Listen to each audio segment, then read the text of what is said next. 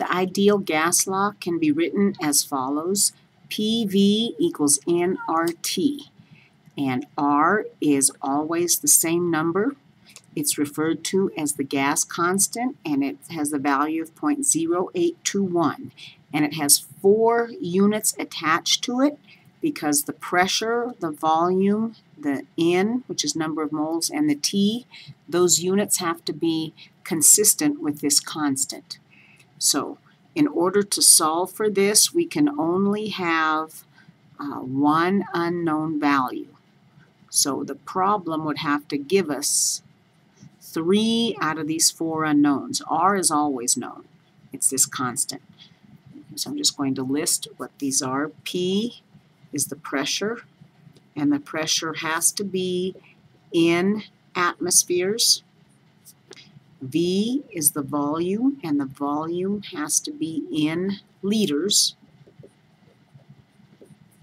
And T is the temperature, and the temperature always has to be in degrees Kelvin.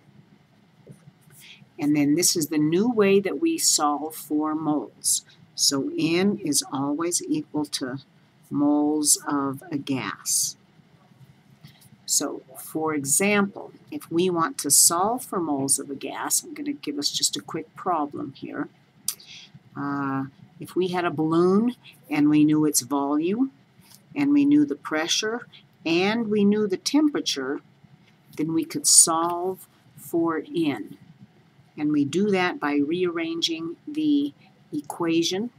So if we have PV equals nRT, we would divide both sides by RT, and that would leave us with N. N is equal to PV divided by RT. And so I'm going to give us an example problem, and we'll see that we've got to convert all of our units and then solve for N. Okay. So I'm just going to give us a quick example. Calculate the moles of a gas, and it does not matter what the gas is, uh, in a, we'll say a 3.5 liter container uh, at 100 and, or 1,665 millimeters of mercury and 21 degrees Celsius. And so this is our V, V is 3.5 liters. That's already in the correct unit. Our pressure is in millimeters of mercury. So from the previous slide, we saw that to convert millimeters of mercury to atmospheres, we divide by 760. So this is the distance the mercury column rises, and we define that um, sea level pressure as one atmosphere. So to get that in the correct units, we divide. And so our pressure would be 2.19 atmospheres. So before we plug any values into the equation to solve for moles, we have to make sure that volume, pressure, and temperature are all in the correct units. So in order to change from degrees Celsius to Kelvin, we add 273. This gives us 294 degrees Kelvin.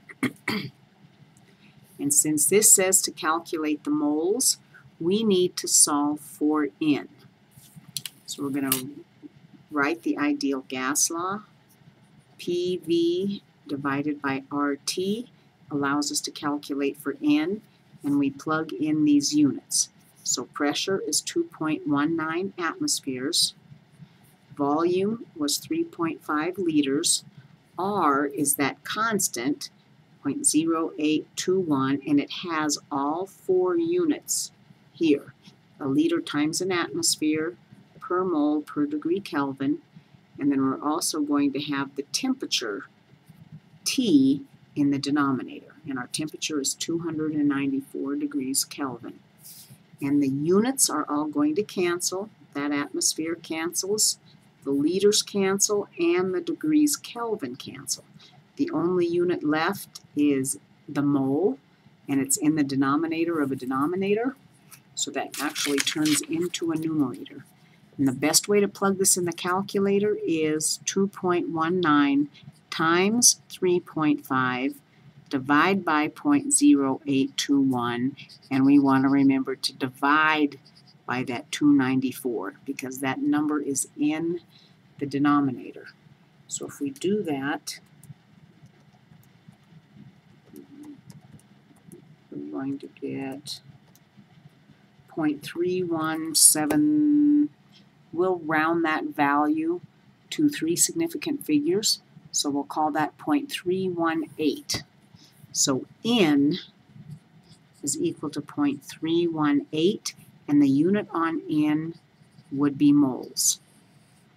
So that is the most common way we're going to use the ideal gas law. And since it's very easy to know a pressure from a pressure gauge and the temperature of the room and the volume of the container, we can always rearrange the gas law in this fashion and solve for how many moles of a gas there are.